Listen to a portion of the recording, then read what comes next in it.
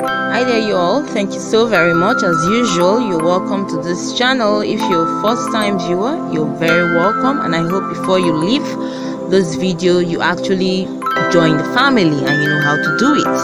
So right now you're watching black girl kids hairstyles for girls long hair braided with extension for beautiful girls. Braid part one. I know it's about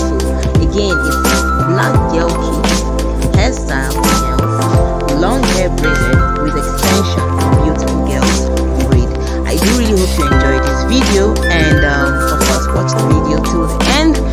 Till next time, you know how we do it, here. Keep it date with us.